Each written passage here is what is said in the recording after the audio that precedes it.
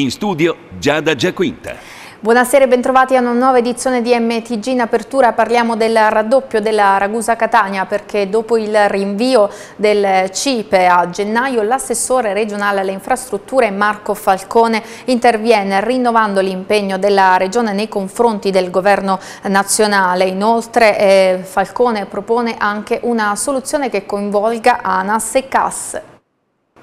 La battuta d'arresto per l'ITER per la realizzazione della Ragusa Catania, rappresentata dal rinvio a gennaio del CIPE, ha suscitato qualche perplessità nel governo regionale. Marco Falcone, assessore regionale alle infrastrutture, ha dichiarato: Quando il precedente governo nazionale disse che bisognava procedere all'acquisto del progetto e mettere fuori il privato, noi abbiamo avuto qualche perplessità, ma ci siamo adeguati, pur con qualche dubbio, e il presidente Conte disse che avrebbe finanziato l'opera con i fondi statali. Successivamente Successivamente, quando si è andati al governo Conte bis, il nuovo governo ci ha chiesto che fosse la regione ad anticipare delle risorse finanziarie e dopo qualche perplessità e dopo aver fatto una riprogrammazione, ha detto Falcone, delle somme che avevamo a disposizione e a carico dell'ANAS, la regione ha messo altri 387 milioni di euro in aggiunta ai 217. Eravamo quasi pronti, avevamo detto che al CIP avremmo proceduto al finanziamento dell'opera con una riprogrammazione dei conti, invece ci è arrivata questa battuta d'arresto perché pare che l'ANAC avesse mosso delle perplessità.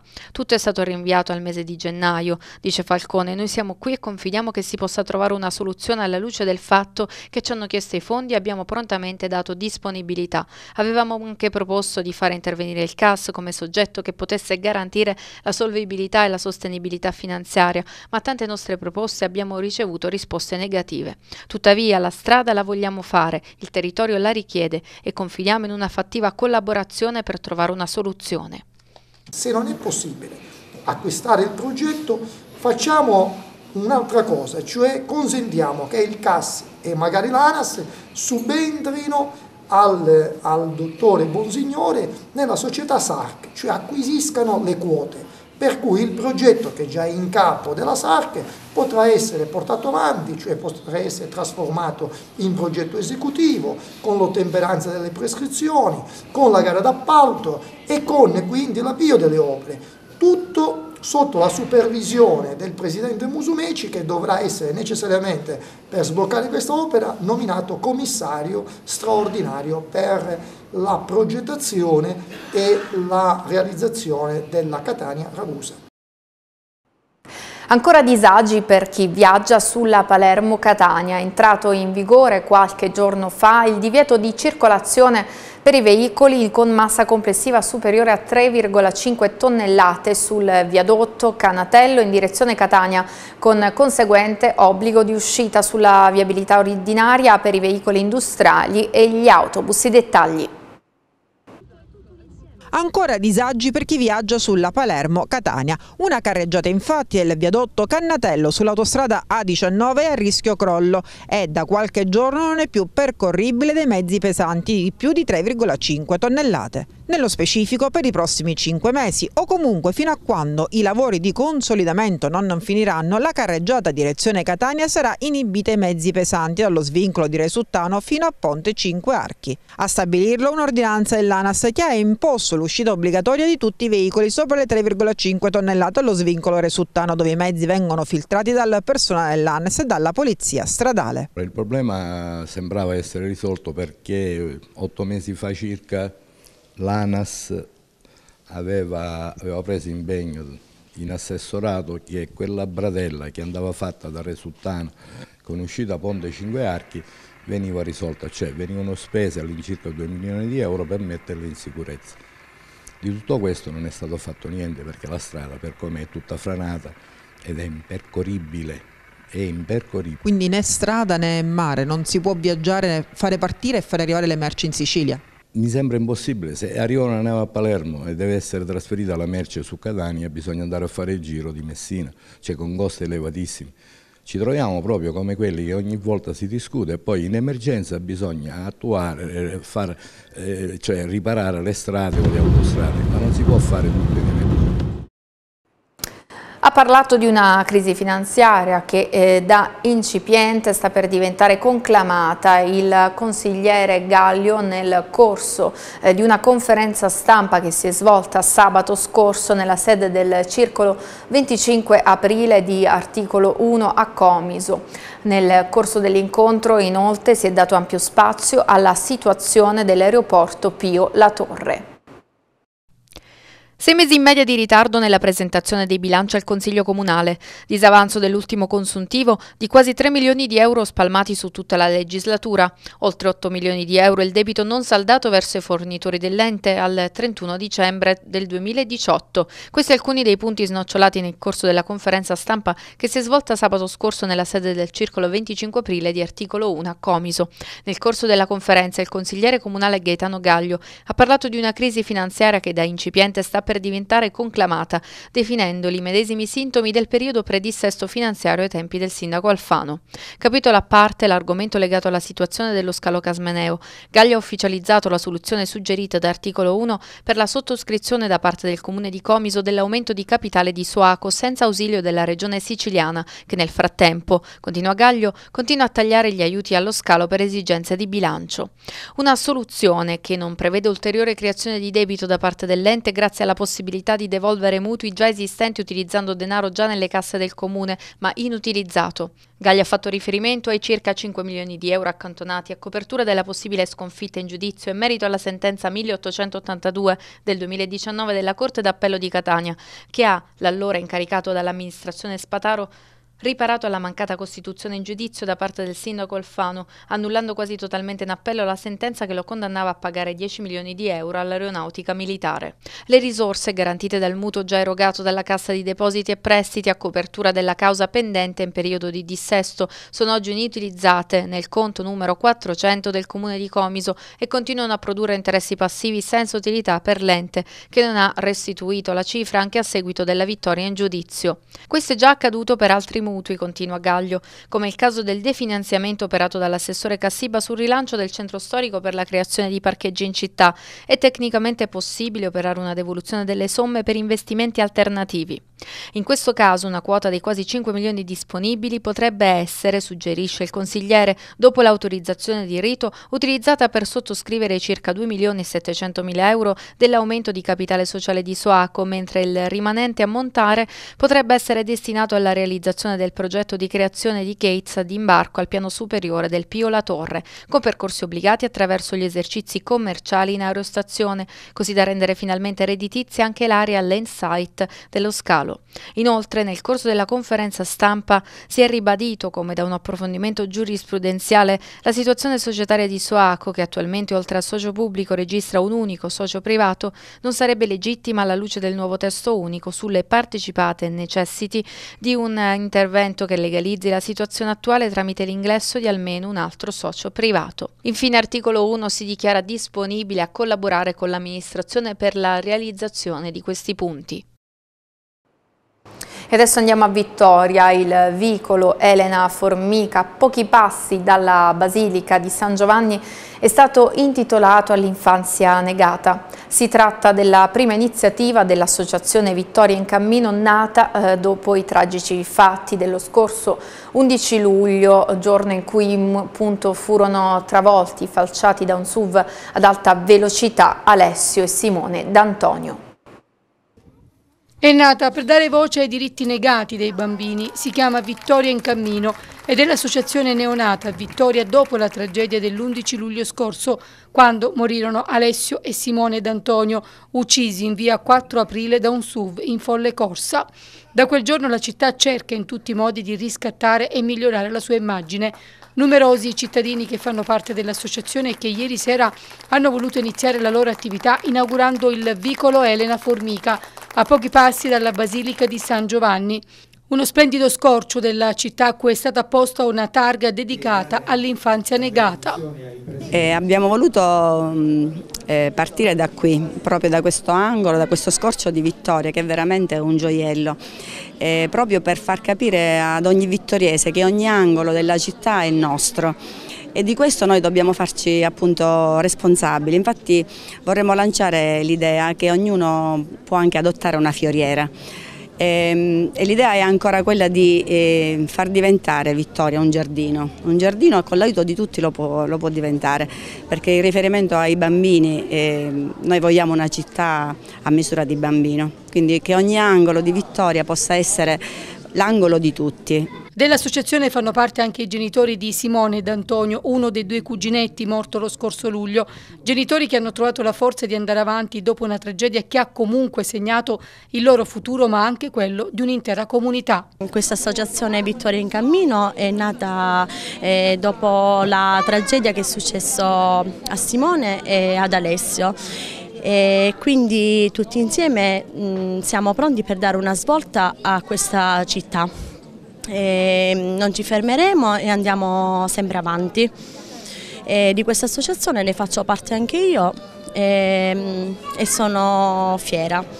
E speriamo di, di, dare questa svolta e far credere che Vittoria non è solo eh, fatta di persone mafiosi ma di buona gente.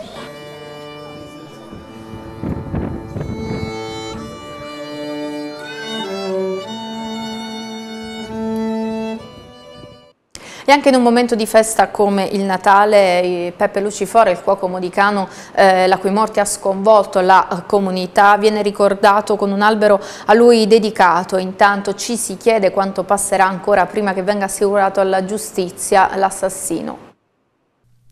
Nei primi 20 giorni di gennaio si potrebbe avere una svolta nelle indagini sull'omicidio di Peppe Lucifora, un silenzio di indagini che dietro vede qualcosa di molto importante e gli investigatori, da cui non trapela nulla, fanno percepire che le indagini proseguono a marcia spedita. Gli esiti scientifici serviranno a identificare chi è entrato in contatto nelle ultime ore con il cuoco modicano. Dalla città, dai bar, dalle strade sono tanti i dubbi alimentati da un sentimento di angoscia nei confronti di indagini così silenziose da destare quasi allarme, come se si temesse che non si arriverà mai alla verità. Ma la verità, e questo lo dicono gli inquirenti, c'è ed arriverà a tempo opportuno, perché una mossa sbagliata da parte degli investigatori in questo momento rischia di far crollare il delicatissimo caso che è stato improntato sulla base dei primi riscontri. Una città intera comunque chiede giustizia e nella stessa città il ricordo non cessa. Il rifugio sanitario di Giulia, che si occupa degli amici a quattro zampe, che è stato destinatario di fondi raccolti dalle donazioni dei funerali di Lucifora, ha acceso l'albero di Peppe. Sì, perché è stato comprato un albero, un abete, che rappresenterà la continuazione della vita di Peppe in terra, un messaggio di amore e per l'occasione del Natale è stato addobbato con delle lucine. Accanto all'albero una poesia di Carmelo Di Stefano che così recita Il campanaccio annuncia festa e festa sarà, malgrado mano folle tinse d'ombre il fresco sorriso del mattino.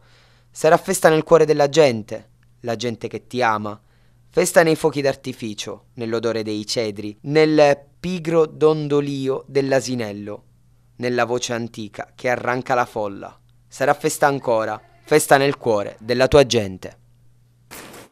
E ha tracciato un bilancio dell'attività svolta. Eh, Quest'anno l'amministrazione Cassi eh, si è parlato anche degli obiettivi da raggiungere. Il primo cittadino ha annunciato l'implementazione della squadra assessoriale. Piano di asfaltatura delle strade, decoro del verde pubblico, spazi resi fruibili alla comunità ragusana, alta percentuale di differenziata. Sono solo alcune delle attività svolte dall'amministrazione comunale di Ragusa che questa mattina ha tracciato un bilancio di quanto compiuto nell'anno che sta per concludersi. Un gruppo consigliare coeso e compatto. Con queste parole il sindaco di Ragusa ha puntato l'attenzione sulla maggioranza mettendo a tacere le recenti polemiche nel tradizionale incontro con la stampa per gli auguri di fine anno. Soddisfatto del lavoro svolto dalla squadra assessoriale, il primo cittadino ha annunciato l'implementazione del numero degli assessori con una ripartizione delle deleghe più razionale. Riservo ancora sui nomi. La città di Ragusa, in questo anno, ha detto Cassì, ha iniziato a dischiudersi, ha riaperto dei luoghi da decenni chiusi. Eh, la città di Ragusa è una città che si apre, una città, mi piace utilizzare questo termine, abbiamo recentemente utilizzato per eh, i negozi del centro, dischiuse, una città che si dischiude, ci sono tanti spazi dentro la città di Ragusa che sono stati riportati alla fruizione della gente. Questo è un fatto veramente nuovo, secondo me quasi rivoluzionario, non, non accadeva, erano decenni che degli spazi erano chiusi al pubblico. Eh, siamo procedendo a mantenere e a recuperare eh, spazi dentro la vallata, spazi nelle latomie, ehm, spazi anche di edifici eh, che sono da, da decenni chiusi. Eh, questo è un obiettivo veramente impegnativo di questa amministrazione. Il nostro piano straordinario di ehm, riasfaltare le strade ha già preso il via e non si fermerà per i prossimi anni. C'è un progetto che riguarda il verde, anche qui stiamo parlando di decoro, noi siamo, ci teniamo a che la nostra città sia una città pulita e decorosa e chi venga da fuori trovi una città pulita e decorosa, per cui un piano straordinario di interventi sul verde, abbiamo iniziato, si vedono già i primi risultati, se ne vedranno altri eh, in futuro. Eh, C'è un piano che è sempre attinente al, al, decoro che riguarda il servizio di igiene urbana, che è una nota che è molto eh, sotto attenzione, cioè è tenuta sotto eh, grande considerazione perché è chiaro che da lì passa anche un discorso di pulizia, di decoro. E mm, siamo intervenuti, la situazione è migliorata. Il primo cittadino ha illustrato anche gli obiettivi da attuare per il prossimo anno. Il 2020 sarà un anno decisivo per tante cose perché ci sono delle infrastrutture che prenderanno il via, un'attività molto intensa eh, proprio di lavori pubblici, parliamo so, di Piazza del Popolo riqualificata, parliamo della rotatoria che davanti al nuovo ospedale, eh, parliamo dell'impianto di Maria di Ragusa, via delle Sirene, eh, parliamo di manutenzione straordinaria delle scuole, parliamo di manutenzione che si, eh, sarà ancora incrementata sulle, sulle, strade, parliamo di manutenzione del verde nei nostri giardini, nelle nostre ville, ehm, tanta carne al fuoco. E a Modica continuano gli appuntamenti della United Network al liceo scientifico, due i progetti ambiziosi proposti agli studenti. Continuano i corsi di formazione per i progetti Haimun e Muner, promossi dalla United Network negli istituti di istruzione superiore. Al liceo scientifico di Modica, facente parte dell'istituto di istruzione superiore Galilei Campailla, i ragazzi stanno continuando a studiare e ad applicarsi in un'intensa attività di studio. Alcuni di loro raggiungeranno la città di Catania, mentre altri andranno direttamente a New York. Un progetto che non coinvolge solo l'Istituto di Istruzione Superiore Galilei Campailla di Modica, ma che vede la presenza anche di altri studenti facenti parte di altre realtà territoriali. Perché hai scelto di partecipare a questo progetto? Che opportunità hai riscontrato? Eh, perché è un progetto comunque può, di cui non si può soffrire tutti i giorni e ci dà delle possibilità di confrontarci con persone da tutto il mondo e di fare un'esperienza che comunque ci resterà per, per tutta la vita. Quando hai scelto di partecipare? Circa un mese fa. Un'iniziativa interessante di grande crescita culturale hanno commentato i ragazzi tra questi, una ragazza ci ha confidato di aver scelto di festeggiare il proprio compleanno proprio in questo modo, andando a discutere alle Nazioni Unite a New York. Entrerò a contatto con eh, persone di tutto il mondo che hanno le mie stesse passioni, che condividono, eh, abbiamo la possibilità di parlare entrambi, comunicare attraverso la lingua inglese, in una tematica nota ormai a tutti dato che l'abbiamo studiata prima di partecipare al progetto terzo anno ad Aimun Catania. Ho scelto questo progetto perché eh, credo che le Nazioni Unite possano di nuovo, com, di nuovo riacquisire eh, la loro importanza a livello internazionale, soprattutto quindi nella diplomazia e la cooperazione internazionale. Un progetto che vede alle spalle una grande preparazione e un costante e continuo confronto e documentazione da parte dei ragazzi anche su ciò che accade nel mondo. Un progetto di spessore, ha commentato la docente di riferimento.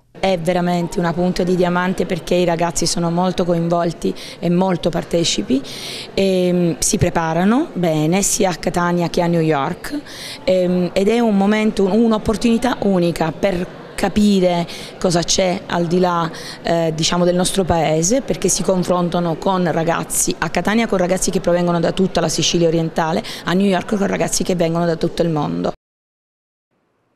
Questa domenica a Noto si terrà il progetto Netturbino per un giorno, un appuntamento importante che coinvolgerà i cittadini per la tutela dell'ambiente. Si chiama Netturbini per un giorno, l'iniziativa ideata da Marco Ambrogio e Alessandro Rizza che diventano promotori di un eh, momento di salvaguardia dell'ambiente e dell'intera città. Netturbini per un giorno sarà un'iniziativa che prenderà vita il 29 di dicembre a Noto, l'appuntamento è alle 9 alla Villa Comunale, dove privati cittadini potranno per un giorno diventare operatori ecologici. L'obiettivo è la salvaguardia dell'ambiente ma anche la bonifica effettiva e reale di alcuni punti della città di Noto presi di mira da atti vandalici e soprattutto dall'inciviltà della gente, metri e metri di rifiuti che verranno spazzati via da privati cittadini con altissimo senso civico. Un appuntamento che come detto si terrà il 29 di dicembre alle ore 9 alla Villa Comunale di Noto. Oltre i due ragazzi a sostenere fortemente questo progetto Plastic Free Onlus, Lega Ambiente Noto, e anche lo stesso comune netino che ha espresso parole di soddisfazione per questo alto senso civico mostrato dai propri concittadini ma anche il comune di Noto ad esprimere soddisfazione per l'iniziativa anche il sindaco della città Corrado Bonfanti che ha parlato di iniziativa lodevole dall'alto senso civico. Adesso una pausa pubblicitaria, tra poco. Ieri pomeriggio la prima del presepe vivente di Ispica. Oltre un migliaio di persone hanno preso parte ieri pomeriggio all'inaugurazione del presepe vivente di Ispica, giunto alla sua ventiduesima edizione, organizzato da Prome Eventi col patrocinio del Comune e la collaborazione di Proloco e Scout. Numerosi pullman provenienti da tutta la Sicilia, come ogni anno, sono giunti nel primo pomeriggio per assistere all'inaugurazione. È la Sicilia antica quella protagonista quest'anno ai tradizionali antichi mestieri ambientati nelle grotte rupestri. Il direttore artistico Peppe Galfo ha innestato canti e cunti in omaggio alla tradizione e alla identità, valorizzando al meglio la vita vissuta della spaccaforno di allora eh, l'abbiamo voluto proprio mh, incentrare sulla Sicilia antica perché secondo me è qualcosa che proprio è intrinseca a noi, ci appartiene e questo posto ci appartiene più di altri perché ereditiamo veramente questa cosa dei nostri avi che ci insegnarono ai tempi e ci insegnano tuttora, basta solo fare un passo indietro, che nonostante i momenti di difficoltà, nonostante gli stenti di quei periodi, riuscivano comunque ad andare avanti con molta dignità. Lo spettatore viene accolto da suoni, recitazioni, canti e cunti in rigoroso dialetto antico, mentre immagini e atmosfera rendono ancora più emozionante questa esperienza. Il progetto culmina nella Natività allestita all'ex mattatoio, dove la vera novità di questa edizione, anche Maria canterà affiancata da figuranti e attori che accoglieranno ed emozioneranno il visitatore. Eh, Quest'anno il Presepio Vivente di Ispica ha superato se stesso, noi della abbiamo, ci superati, ci siamo superati perché eh, diciamo che la, la, oltre la, la, location che è il fonte del Presepio Vivente, però noi con i nostri sforzi e sacrifici siamo pronti ad accogliere migliaia di persone che vengono a visitare il nostro Presepe. Lungo il tragitto che si snoda per un chilometro, circa 100 i figuranti che hanno dato vita al villaggio siciliano, dove 40 artigiani svelano al visitatore i segreti delle antiche arti.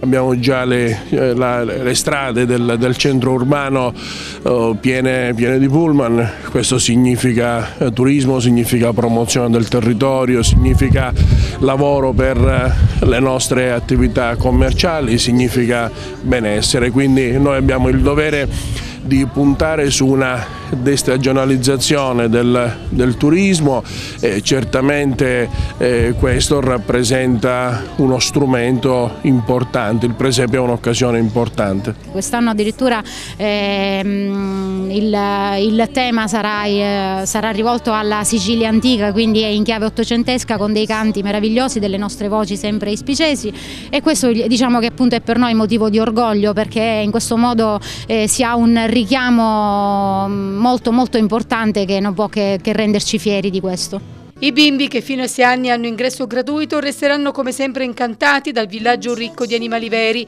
Il presepe replicherà adesso il 25, 26 e 29 dicembre e 1, 5 e 6 gennaio, sempre dalle 16 con ingresso da piazza Sant'Antonio.